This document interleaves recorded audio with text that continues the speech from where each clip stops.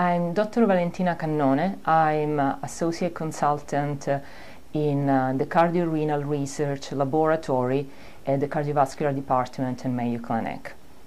And uh, today I'm happy and honored to share the main findings and main message from our study aldosterone hypertension and antihypertensive therapy insights from a general population that will be published in Mayo Clinic Proceedings in the August issue. Let me um, summarize briefly what our study was about. We investigated the relationship among aldosterone, uh, hypertension, antihypertensive therapy, clinical profile, and atrial natriuretic peptide in uh, the clinical setting, of course, of hypertension. So our cohort was uh, a random sample from the general population from Olmsted County.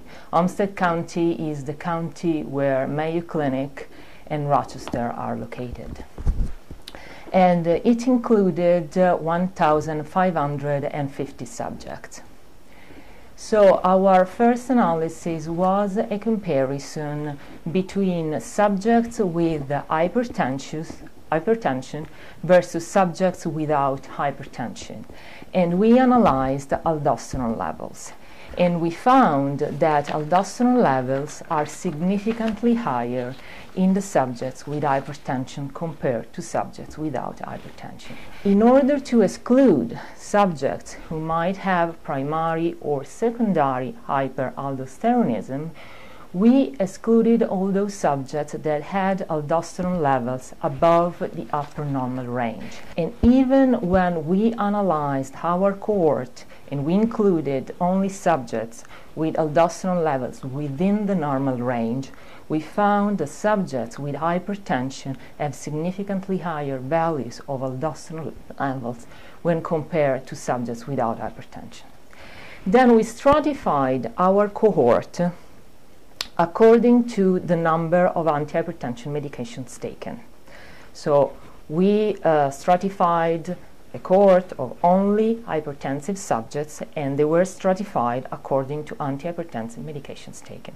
And we found that the higher the number of antihypertension medication taken, the higher the values of aldosterone levels. We also analyzed uh, uh, the clinical profile in our stratified cohort, stratified according to antihypertensive medications taken. And we found that the increasing number of antihypertension medications was associated with the worse metabolic profile characterized by higher triglyceride levels, uh, higher body mass index, lower protective HDL cholesterol, higher values of insulin and glucose. But also the increasing number of antihypertension medications was also associated with a higher prevalence of cardiovascular, metabolic, and kidney disease. In our cohort, also, we evaluated uh, um, the relationship between uh, aldosterone and natriuretic peptide. And we found that in, in hypertensive subjects, the higher the values of aldosterone, the lower the values of natriuretic peptide. So we found a kind of inverse relationship between these two hormones. Let's stay focused on aldosterone levels. We found that in hypertension, uh, subjects, so with hypertension, have uh, significantly higher values of aldosterone compared to subjects without hypertension. Why did we want to analyze that? Because we know from previous studies uh, that uh, aldosterone levels, even within the normal range, is uh, associated with uh, cardiovascular, metabolic, and renal disease. And also, aldosterone levels, even within the normal range, is a predictor of cardiovascular, renal, and metabolic disease. Our previous studies were conducted in the general population. This current study was conducted only in hypertensive subjects. The second message was focused um, about uh, the relationship between uh, aldosterone and alpha-natriuretic peptide. And uh, we found that there is uh, an inverse relationship between these two hormones in the context of hypertension. Why did we study these two hormones? Because they are both two key regulators of uh, blood pressure homeostasis. We know that aldosterone um, determines an increase in sodium retention and determines an increase in blood pressure, whereas alpha-natriuretic peptide is a hormone, cardiac hormone, that induces an increase in diuresis, natriuresis, and it has a vasodilatory effect. So we wanted to investigate the relationship between these two hormones, and we found that in the clinical setting of hypertension, we have an inverse relationship.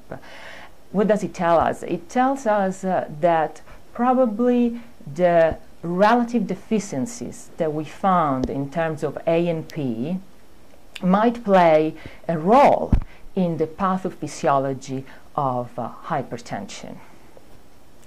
And uh, uh, our findings also tell us that uh, uh, aldosterone uh, higher values of aldosterone is clearly a feature of treated hypertension.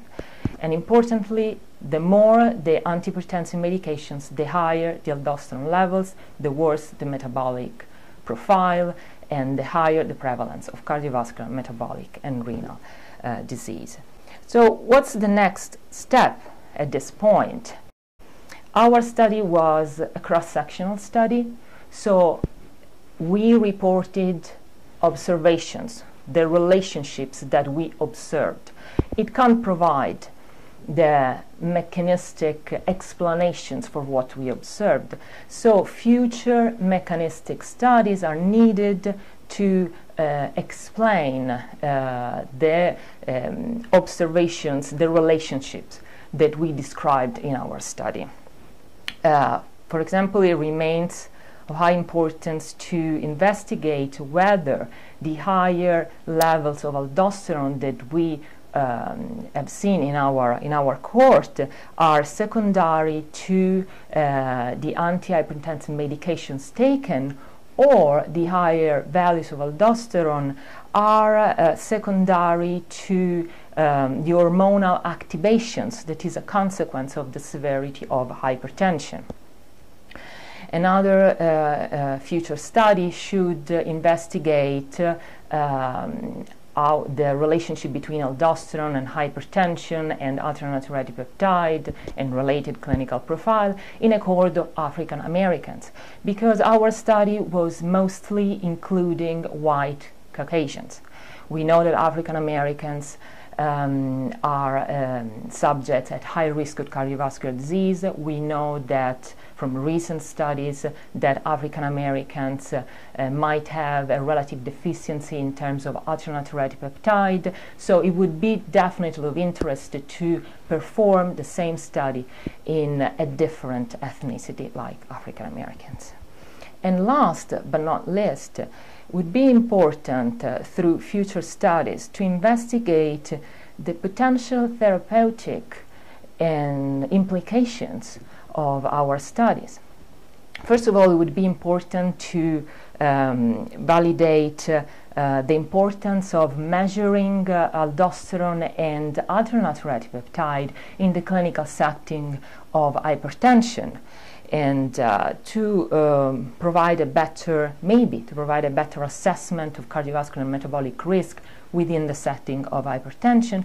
But also, it would be important to verify whether antagonizing aldosterone in combination with the potentiation of the alpha-natriuretic peptide system, so compensating for the alpha-natriuretic peptide deficiency that we found, if that would be a good therapeutic strategy for the future in um, treatment of hypertension. So there are uh, plenty of new uh, studies and scientific hypotheses to uh, validate, to um, investigate.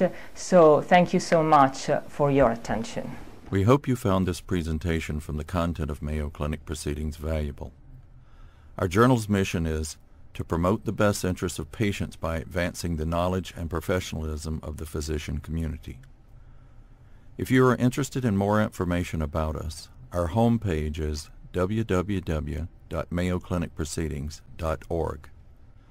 There you will find access information for our social media content, such as additional videos on our YouTube channel or journal updates on Facebook. You can also follow us on Twitter. More information about healthcare at Mayo Clinic is available at www.mayoclinic.org. This video content is copyrighted by Mayo Foundation for Medical Education and Research.